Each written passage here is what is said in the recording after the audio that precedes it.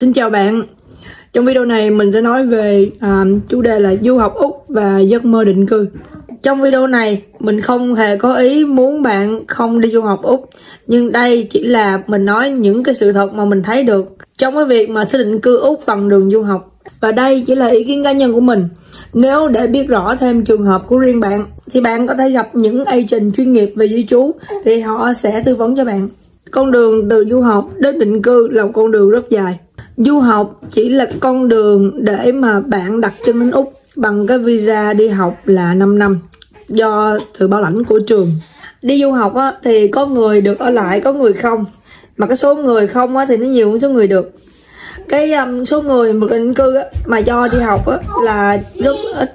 Tại vì họ chỉ lựa một một số thôi nhưng một số người trong cái số người du học mà ra trường năm đó thôi nó không có quá nhiều để mà bạn nghĩ là học xong sẽ tự động xin là được ở lại. Hoặc là nếu bạn nghe nói nghe bất cứ một người nào nói học đi học ngành ở đi qua úc học đi là xong xin cái là cho lại liền tại vì học đúng ngành. Mình nói cho bạn nghe đó là họ nói giỡn cho bạn vui đó bạn nói giỡn chơi cho vui thôi. Chứ sự thật ra nó khác. Những cái câu nói mà lý thuyết á với lại thực tế nó khác nhau.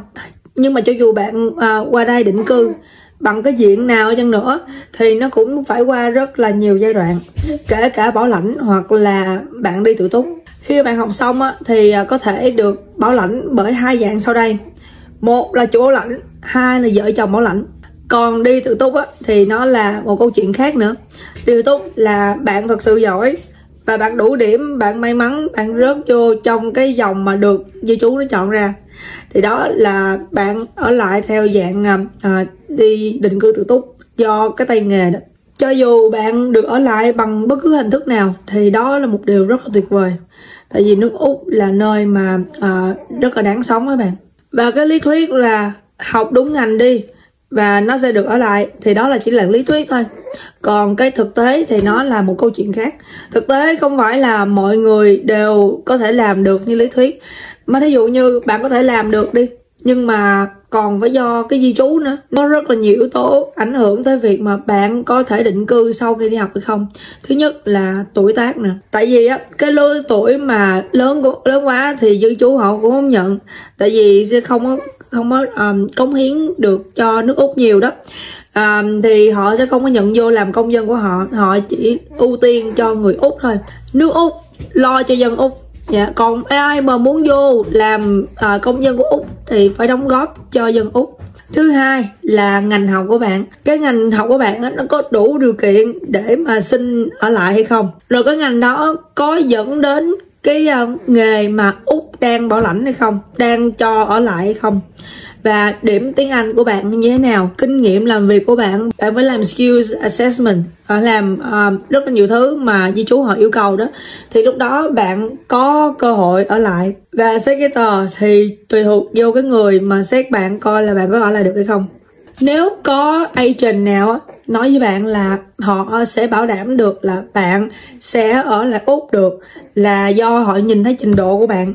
Họ nhìn thấy là à, bạn có tướng tốt nè. À, rồi tiếng anh giỏi nè. Thì đó chỉ là mật ngọt các bạn nhé mật ngọt. À, mật ngọt thì chết rồi. Tại vì khi mà agent á họ chọn ngành cho bạn thì họ sẽ chọn những ngành mà có skill trong cái skill list dạ yeah, trong cái skill list của năm đó thôi.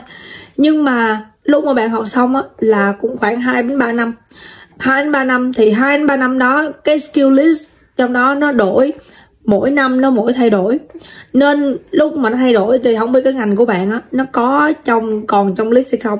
Hay là năm sau là nó đá khỏi list rồi.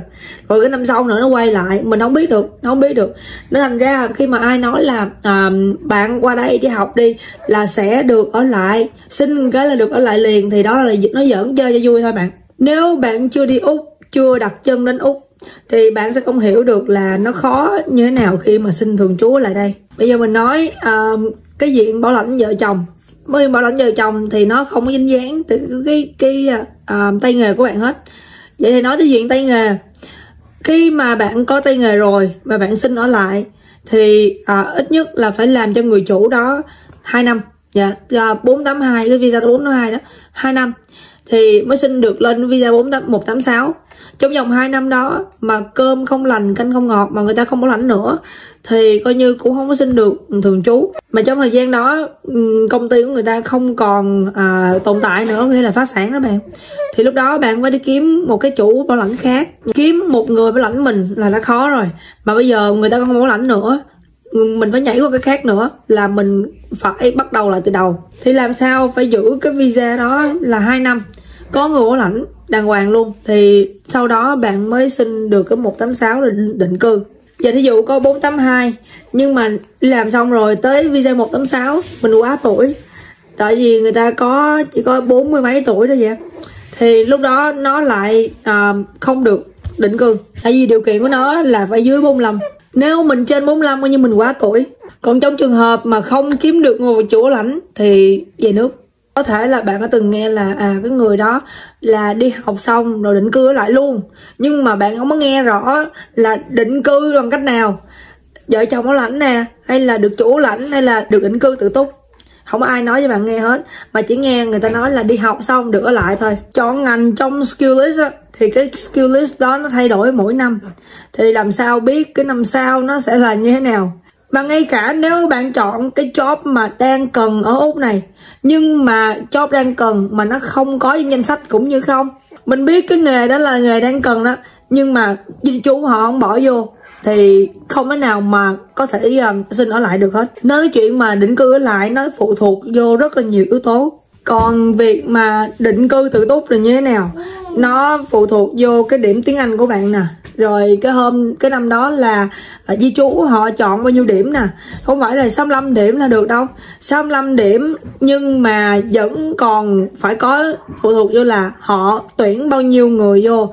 Thí dụ như họ chỉ tuyển có một ngàn người thôi mà trong đó có 10 ngàn người nộp lần thì họ sẽ đưa ra con con có cái số điểm nó cao hơn nữa. Nếu cái điểm của bạn á, tính ra nó cao hơn cái điểm đó nữa thì may ra bạn được ở lại còn nếu bạn dưới cái điểm đó thì coi như không có được ở lại thôi.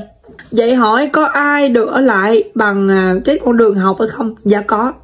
Có có hai con đường là được chủ lãnh và một cái là đi tự túc. À, nếu vậy thì bạn hãy nói chuyện với lại cái người agent mà bạn tin tưởng nhất.